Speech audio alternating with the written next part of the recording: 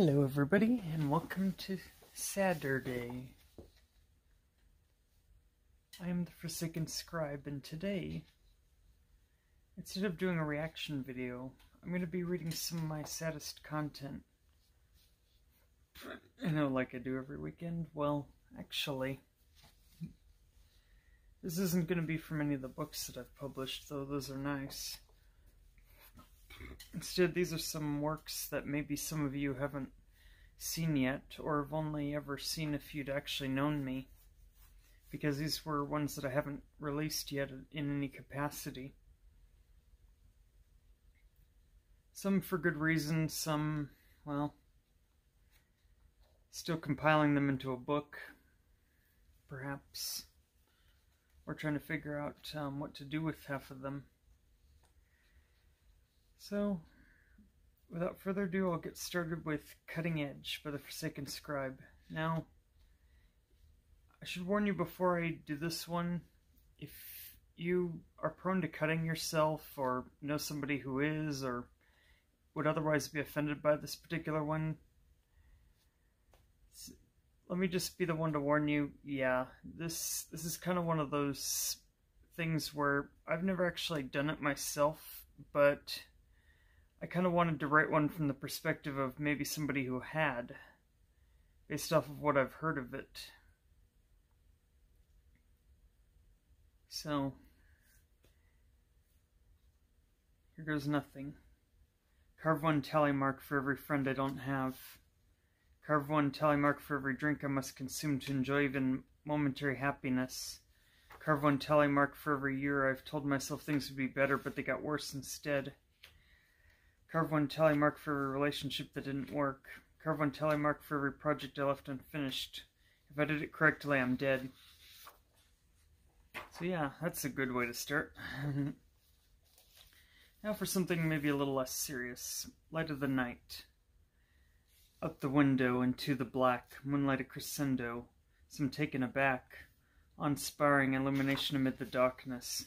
Children tiring, my shadow-like light's starkness. Sounds of creatures nocturnal, smell of seasons. Hope for tomorrow eternal, we have our reasons. To let all be as it should. Upon our bed, sleep we could, even after we've said, wake we would. The cycle begins anew, until our lives are through.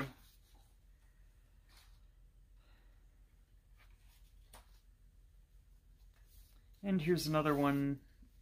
This time we're we're taking the perspective of someone who is contemplating whether they should live on or not. This is for all the people who have ever unfortunately met their end. I'm sorry that um, you felt that was. I'm sorry that you did that to your. that you um died. I'm sorry that um, this world couldn't bring you comfort when you needed it. Without further ado, this poem's for you. Death. It is a permanent solution to a temporary problem. The problems don't seem temporary. If they just had support, they would see life as too precious to waste. Their life was already a waste. A cure could eventually be found. Easy to say when, when the disease isn't causing excruciating pain even with treatment. They could have been something. They couldn't handle the demands of, of that something and agonized over the opportunities they squandered before they died. If they just worked harder, they'd get what they deserve. Working in a dead end job won't get you by anymore. Give it a few years, things will be better. Mystical thinking like that just leads to further disappointment. You're so smart, you could be doing so much more. Are you hiring? I don't I didn't think so. You're overqualified for your job. You don't just get the job you're qualified for out of university. If you didn't spend so much on insert a luxury item here, you could move out. Luxury item is my only source of comfort in times of hopelessness and increasingly out of reach market. If you just got out more, you'd feel better. I don't have time, and when I do, I have little energy. I have little to say or energy to do what you're passionate about. Unless I'm passionate about work no one else wants to do, I'm not going to make a living off of it. You can make a new edition. I keep fixing what isn't broken and, and become increasingly less satisfied with the end product. I feel like I scammed those that have the original. There's so much to live for. And so much to be a slave to the almighty dollar for. But you're so much better off than, gee, thanks for leaving me feeling guilty for having problems and emotions. You only have so much time to be alive and eternity to be dead. If I'm not enjoying life, am I really alive? Give me liberty or give me death. Liberty is a lie. Even in a state of anarchy, free will is questionable. You choose to feel and act this way. No, I don't, any more than you choose to cry when you'd rather not embarrass yourself at a funeral. Wouldn't you rather just be happy with what you have? Show me how. Oh, wait, you probably don't know either. That last statement didn't reach me. I am dead. now, for that particular one, you know, I I was kind of in a moment where I'm like, you know what? Man, stuff seems so deadened now, and you know, if I were someone else that was actually planning something like this, what would be my thoughts? What would what would I be arguing with myself about, or others perhaps? And that was what kind of made that sort of poem passage, you know, argument sort of thing. And if it's any relief to anyone, I'm not actually planning something like that, um, but at the same time, those are the kinds of thoughts that go around one's head when they're contemplating the end. And so my next one is called Passion and Profit. This one's a little bit different. It's it's more kind of a well, shoot, you know, I I've done so much with my life, but what has it amounted to? Lost and confused, an author believes the reviews. A darkness will rise, his works unfit they surmise. Other pursuits consume his time. We all must earn a dime. An emptiness inside, life is a bumpy ride. Highs and lows, columns and rows, lacking in soul, the profit is null. A mind is a prison, circumstances have risen. Lacking fulfillment, he toils as his blood boils. It must come out, and so he will shout, I quit. He's not a git. We all break, Let's all make the most of each day and live it our way. This next one is a is one called I Will Go On. Wandering this land seems like everyone but me knows where they're going. Happily they make of life what they can, but are they faking it? Or do they know that happiness is fleeting? Dead is my spirit, alive is my body. Where do I fit in it all? I will go on until my until I find my purpose, a reason for being.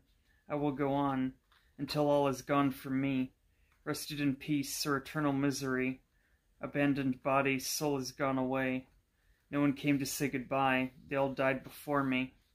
Wandering still until I'm at peace, my life will rerun again. My life will rerun again. I can't help thinking I probably intended that to be a song at some point, but I can't remember to what melody I intended that. And now this following passage is going to be something that I wrote to a future son or daughter. I'm going to presume in this, for simplicity, that it's probably a son because I'd probably be a little more likely to advise them of this type of thing than maybe a daughter. And um, these are basically guidelines for, you know, how to survive public school, you know, not make the same mistakes I did.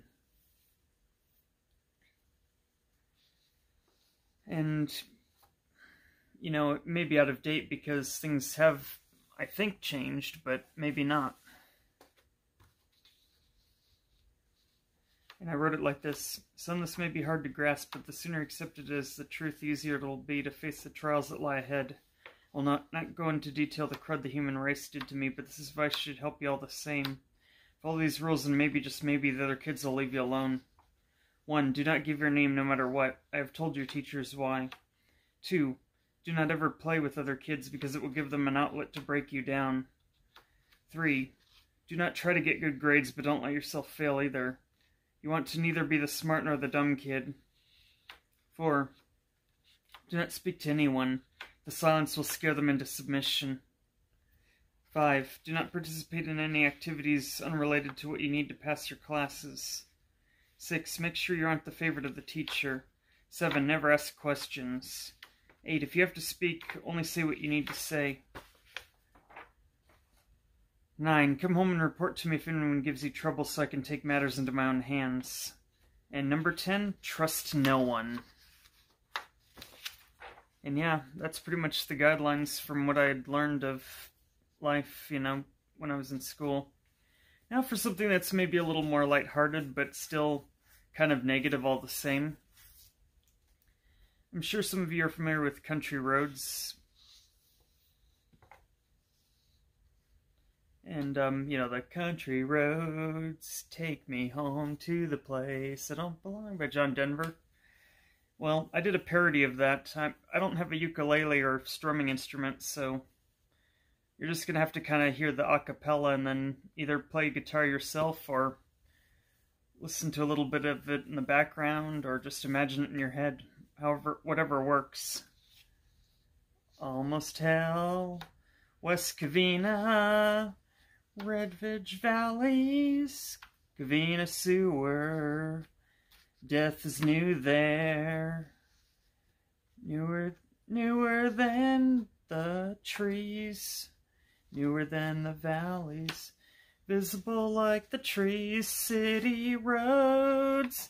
Don't take me home to the place I don't belong.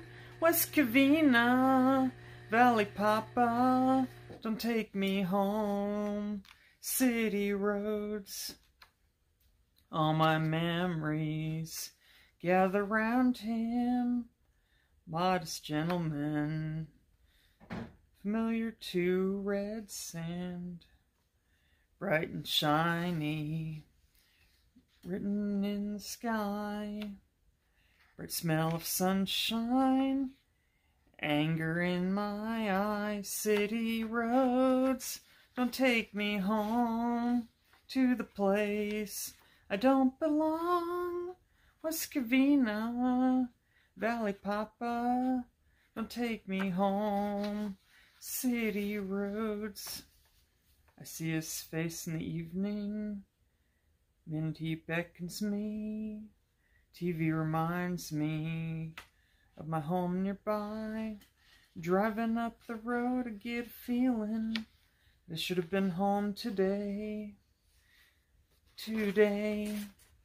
City roads, don't take me home to the place I don't belong. West Covina, Valley Papa, don't take me home.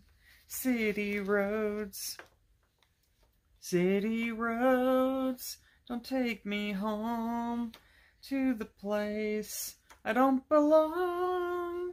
West Valley Papa, don't take me home. City roads, don't take me home. Up city roads, don't take me home. Don't take me home. Up city roads. And by the way, if you have the right audience, you can also exchange Valley Papa with Valley Popeyes. But, um, yeah, decided not to do it for this particular crowd, you know, albeit small. anyway, Let's see. And for our last piece in this otherwise um, pretty short episode, because frankly I'm kind of tired and uh, it's like 3 in the morning or so, give or take. This one's called Drunk Poem. This is one I actually wrote one time when I was at a um, bar slash nightclub, and I just, I was a little bit under the influence, and I said, you know what, I wonder what I'll write if I'm in this state of mind. So it went like this. Sitting in a bar, friends nowhere to be found, watching others from afar. Here sits a man on a mound, nothing left to lose, drinking since the night began. South of Santa Cruz, what is his lifespan? 85 years unless he is dumb. So he sits watching from a stool. What is life without fun? When he wakes up tomorrow, he might drool. All will cease for another 30 days. On and on he will continue the pace. Then again, who could understand his ways? His friends tell him it's not a race. Nine in, no more left to go. He will never win. Why can't he say no? All he wants is happiness, a hunger huge and great. He is quite ravenous. He doesn't want a mate. Staggering, he enters his house, proceeding to bed. Quiet as a mouse, the cycle continues until he is dead. And that was our uh, last um, writing, poem, etc. for the night. I thank you kindly and uh, sweet dreams, and I hope this was entertaining for you, even if it didn't maybe make you cry or not. Thank you, and until next time, this is the Forsaken Scribe out. And this has been Sadurdays. See the description for anything you might need to know. Bye bye. -hmm.